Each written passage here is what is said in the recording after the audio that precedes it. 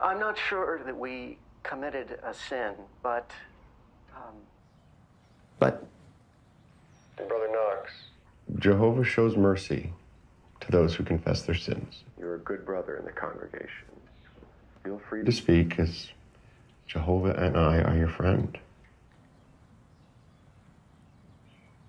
We committed sodomy.